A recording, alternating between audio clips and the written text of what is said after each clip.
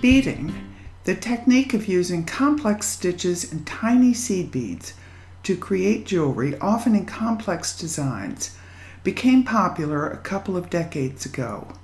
Since then, a number of artists have produced stunning, jaw dropping work and pushed limits of the medium, producing beaded sculpture, book covers, quilts, and other work. The achievements have been recognized by other artists, craft museums, galleries, and publishers, including Lark Publishing, a leader in providing exposure for craft artists. Despite the undeniable quality and beauty of the work, many beaders, including prominent artists, are unable to make a living selling their work.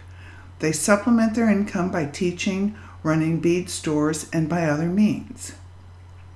This is true for many artists, and I don't for a minute suggest it is peculiar only to beaders.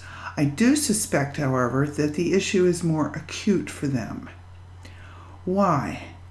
There is always a tension between the price of a work of art, especially for emerging artists, and its perceived value.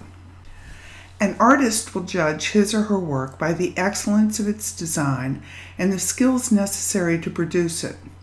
A client looks at the price of the work, its durability, and what can be called its inherent value. Let me explain.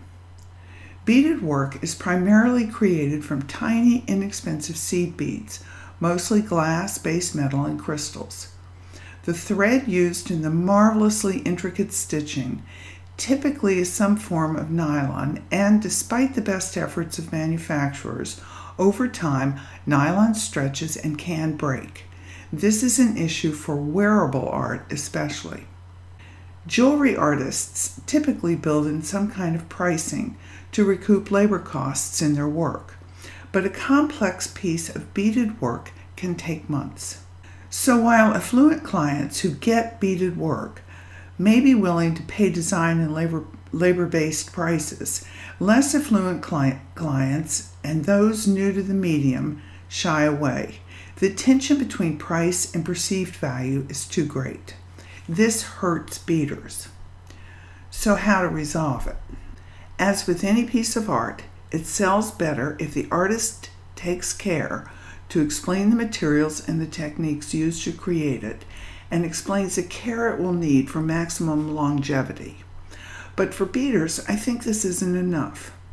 I'd suggest that beaders begin to incorporate gemstones into their work and learn how to manipulate wire in their patterns.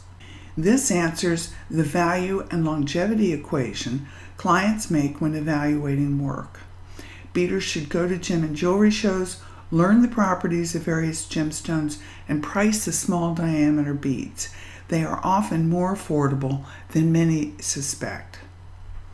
Please understand me. I'm a former gallery owner, gemologist, goldsmith, and professional pearl and bead stringer. I love beaded work and believe it's underexposed and underappreciated.